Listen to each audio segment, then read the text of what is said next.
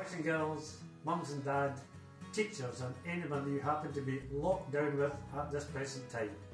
Today is a special day because it's Shrove Tuesday and we're going to hopefully today make a pancake, something I have never done before in my life.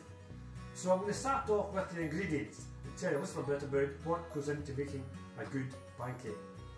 First of all, we put in one egg, a nice free range brown leghorn egg that when you break it into the bowl has this lovely deep yellow yolk.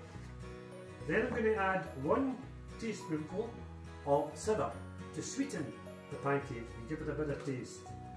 And then one dessert spoonful of caster sugar. Now when that all goes into the bowl, I'm going to mix it up all together into a nice batter. Then I'm going to add two cupfuls of self-raising flour made from the best wheat grown in Scotland, particularly on the east coast or on the borders. And it will give energy for you for once you've eaten the pancake. Then I'm going to add some cream, a third of a cup of cream, and that will be topped up to a full cup by whole milk.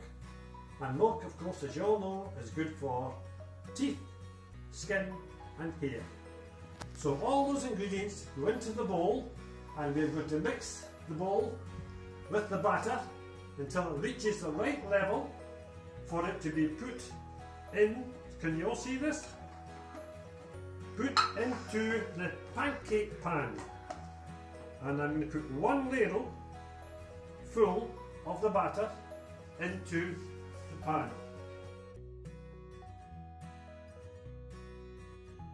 Now the pan has been lined with cooking oil so that it doesn't stick to the bottom of the pan. Now the shape is not entirely as I wanted it to be, but it's not too bad. As long as the taste is right, that to me is far more important. Now this shouldn't take too long, and I've got a taste of it here on my thumb, as you can all see. So I'm going to give that a taste just now to see what it's like. Absolutely lovely.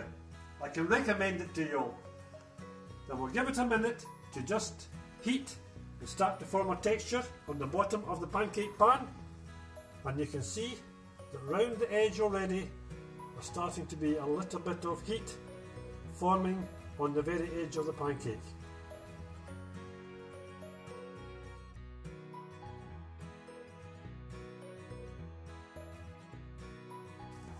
Oh look at that! Absolutely brilliant texture. The first one I've ever made and it looks absolutely lovely. I can see this will help to grow my hair.